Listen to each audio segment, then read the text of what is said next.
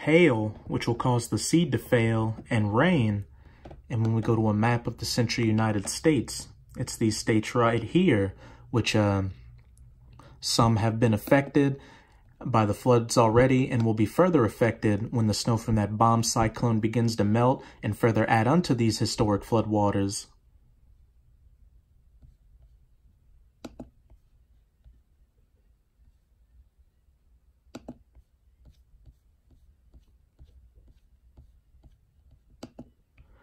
I know that I shared the following quote yesterday, but in order to give you an idea of the scope of the losses we are looking at, I want to share it again.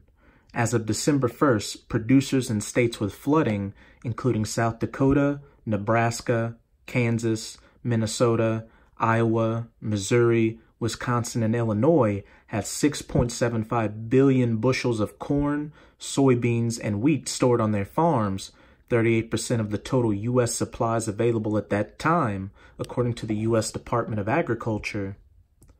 And remember, the flooding is just getting started. In just one county in Iowa, 1.8 million bushels of corn and soybeans have already been destroyed. Nationwide, the losses are off the charts. Needless to say, prices will be going way up at grocery stores, and they will keep going up for the rest of the year. Sadly, even after the floodwaters are gone, the damage that has been done to our agricultural infrastructure will take years to repair. Famines and pestilences.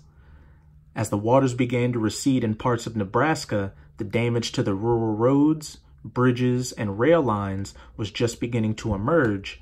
This infrastructure is critical for the U.S. agricultural sector to move products from farms to processing plants and shipping hubs. The damage to roads means it will be harder for trucks to deliver seed to farmers for the coming planting season, but in some areas, the flooding on fields will render them all but impossible to use. In Nebraska alone, hundreds of miles of rural roads have been completely washed out, and farmers such as Annette Bloom are having an extremely difficult time just getting to a main road. We are having to travel three miles through pasture and cropland just to get out because our roads are gone, she says. And the cornfields are going to be devastating to get in and plant and get that going because usually we're planting within the next two weeks and it's not going to happen. Many of America's farmers will bravely keep going after this disaster, but for many others, a financial breaking point has arrived back in 2nd Esdras 13, 2nd Esdras chapter 15, verse 13, they that till the ground shall mourn. So as you can see, uh, no happy days are coming to the United States of America because we're in the last leg of its rulership.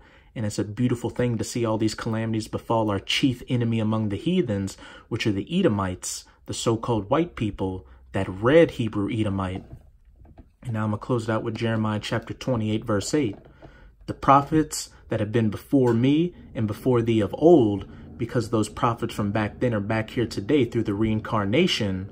The spirits of the prophets are subject to the prophets, and the, the prophets today are doing the same things that the prophets of old were doing, going out there on the highways and byways preaching this word, as well as in modern times, putting up these uh, video epistles on YouTube, both against Slacky and before thee of old prophesied both against many countries and against great kingdoms, especially the greatest heathen kingdom of all, the United States of America, which again is uh, biblically known as Babylon the Great and spiritual Egypt and Sodom and Gomorrah, of war, civil wars, race wars, um, a nuclear armed World War III, that Battle of Armageddon, which is going to take place in that Middle Eastern region, also known as the Battle of the Valley Jehoshaphat, which is uh, ultimately going to culminate in 200 million nuclear missiles, as well as the laser beams from the Chariot of the Most High, which people ignorantly refer to as so-called UFOs, hitting the United States and turning it into the biblical lake of fire from sea to shining sea,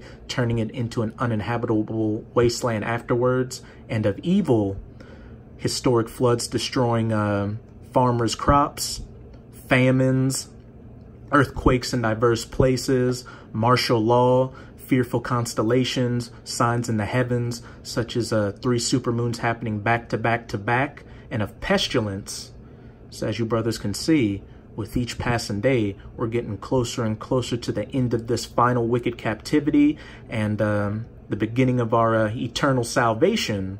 So now more than ever, you should have all 10 toes down in this truth to make your calling and election sure and make sure you aren't taken out of this truth so close to the end.